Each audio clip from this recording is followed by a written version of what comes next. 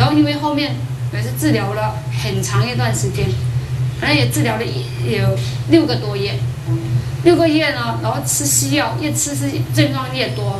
本来他说这边瘤是一直一点点一小块淋巴，它变成两个，现在变成两个那么大的瘤，整天就流脓，然后已经流了四个多月了，四个多月，你想想看，一个人有多少东西可以排？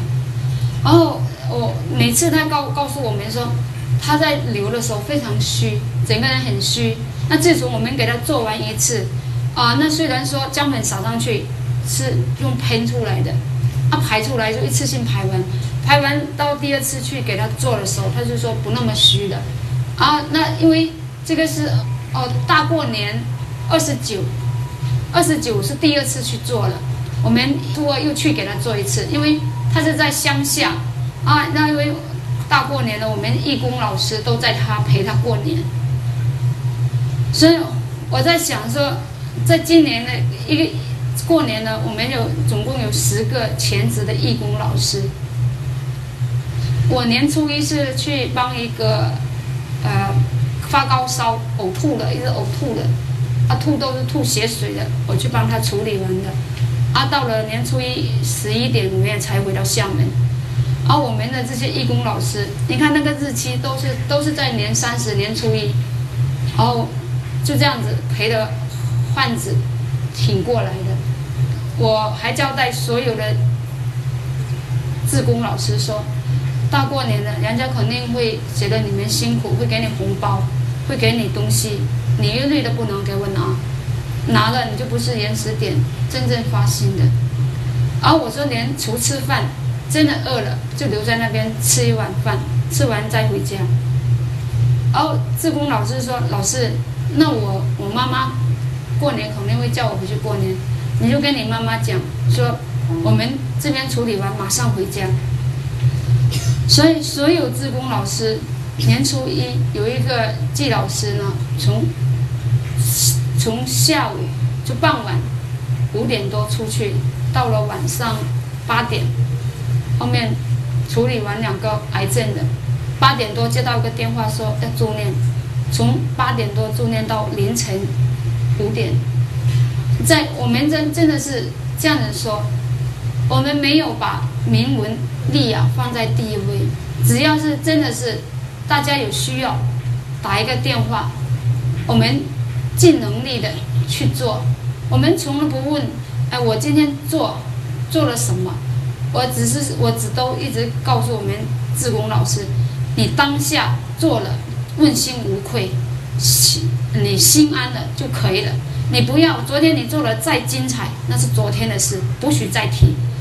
包括我们，如果不是说张医师一直邀请说把这些放下来，我平常都是默默的在做，我从不愿意把这些过去的往事提起来。我我一直跟所有的志工老师都讲过，昨天的精彩那是昨天过去的，你只要再问的是你今天做了什么，你有没做得起对得起良心的。那你今天要是又浪费一天，又浪费时间，又一天过去了，那你今天白白浪费一天的。我所以，我我所有的跟我在自工老师的时候，我不会说话，我都没有说，呃，要交代做什么，我都是默默的在做，啊，他们就默默跟着，然后有有些自工老师真的是连坐车的路费没都没有的时候，他们都是咬紧牙关。说，因为厦门公交站非常方便，公交车就是客运的，非常方便。你只要到了哪一个站都有公交车。我们经常为了省一些钱，我们连公交车都不坐，能走路的尽量走路。然后有有车子的，我们再去再去坐。就是真的没办法，很赶的，啊，我们才去坐车。啊，如果时间真的不赶的，我们都尽量都能省则省，然后再。这样子一直走过来，我我我可能真的是人家说，人有善念，你就会感召好的。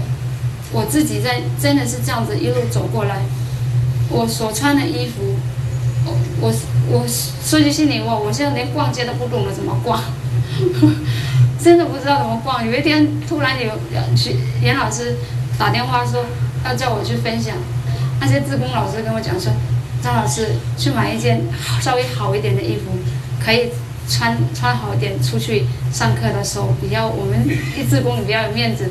我跟他讲说，面子有多重要。啊，那面子能值几个钱？能贴在你身上长筋啊！然后，然后，我平常是怎么惜福的？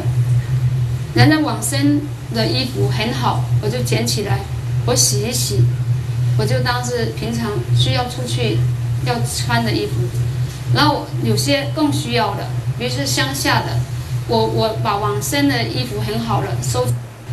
然后看到他比我更需要，我就拿过去。我不告诉他是往生的，他们都认为是新的，因为我洗得很干净，然后也叠得很好。啊，他们也不，他们不知道，也穿得很西服，对不对？所以我就说，人呐，一切都在自己心里作怪，不都是用眼睛去看世界？你为什么不用心去体会？包括就是说，说来说去，我们的健康。真的健康其实很简单，就掌握在你自己的手掌。啊，你为什么一定要交给别人？那那你看哦，我给人家的衣服，不告诉他那是往生子留下的衣服，他穿的很欢喜；一告诉他是往生子衣服，嘘，剩下五除二就丢掉，对不对？这都是心里的作怪。那我我我经常说，我们不要留恋曾经的。的精彩，我们在的就是今天我们做了什么，我们问心无愧，我们心安理得的能做到多少就做多少。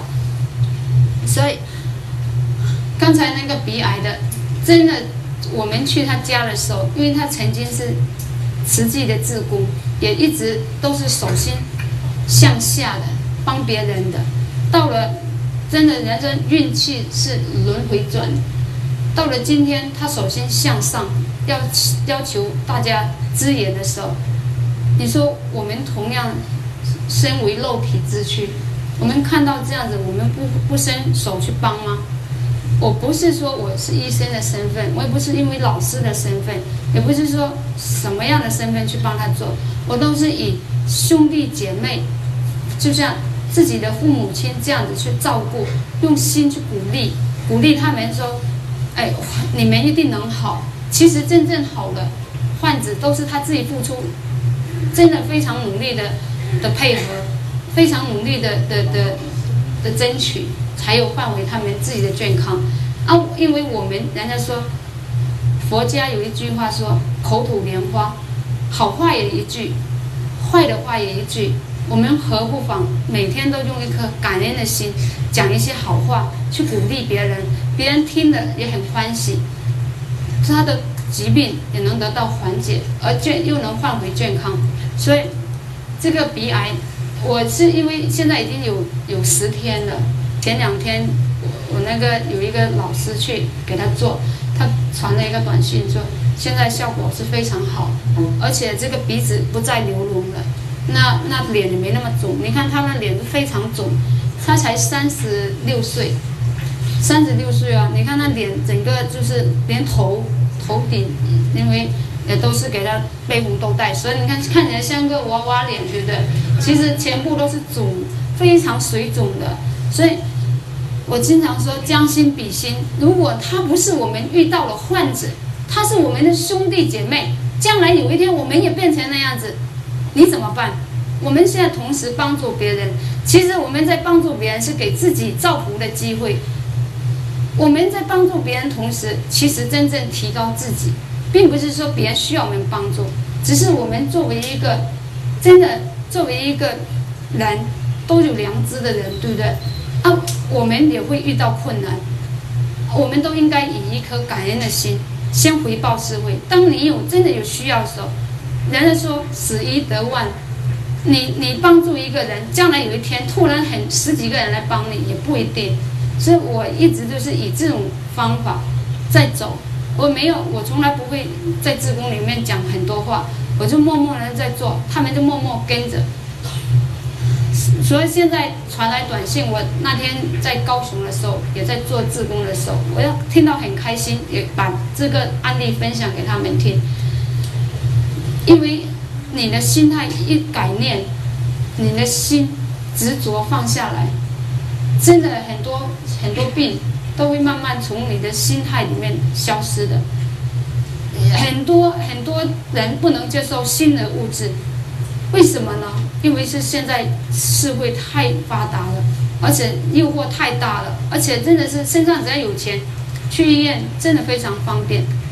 这个自宫本来是家庭算不错的，可是治疗了半年了，手术加上化疗，化疗到本来好好一个人，他以前的照片真的蛮可以的，蛮帅的，因为皮肤很白嫩。然后因为又穿了实际的那个自宫衣服，看起来非常洒脱。你看现在变成那样子，我说是会因为太发达了，而真的真正好的东西，我最常讲的一句话，我说真正有智慧的人看延时点是无价之宝，真的内内在内行人看延延时点真的无价之宝，可是你们就。经常都看不懂，啊，为什么懂？招完手术，走了很多冤枉路，吃了很多垃圾的时候，你再回头，哦，你再帮帮我，我现在开始相信原始点。我说你早干嘛去的？啊，所以真的是让我很心痛的，就是这一点。明明有这么好的东西，我在下面为什么可以说推广的这么顺利？我就是最好一个例子。在零六年，我是真的是奄奄一息，没有人会相信我今天还能活着。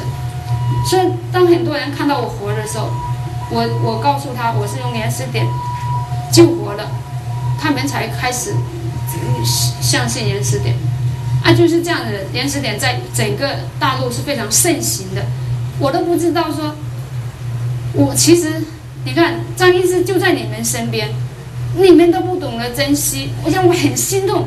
我去高雄啊，一个叫什么美容，啊，还有一个叫浓度，哦，真的那个碟片拿下也可以给大家看。我去做两天义工，啊，既然一说延时点，啊，有一有十个，可能有一两个知道说，哦，那延时点哦，听说不错哦。我我说这光听说吗？没有执行吗？哦，有听说不错了，然后就没有时间去看了。我听完以后我说。现在给你们所有的义务，赶紧看原始点碟片，不要再也只听说了。听说什么？听说又听说是别人的东西，不是你的，自己去看的才是你自己的。哦，真的是，啊，那那在高雄那边，那就是那个叫龙渡，然后一个就是一个一个美容，啊，那个农村嘛。那我就说，那光听说有什么用？听说都是别人的，那为什么不自己去执行？真的要好好珍惜。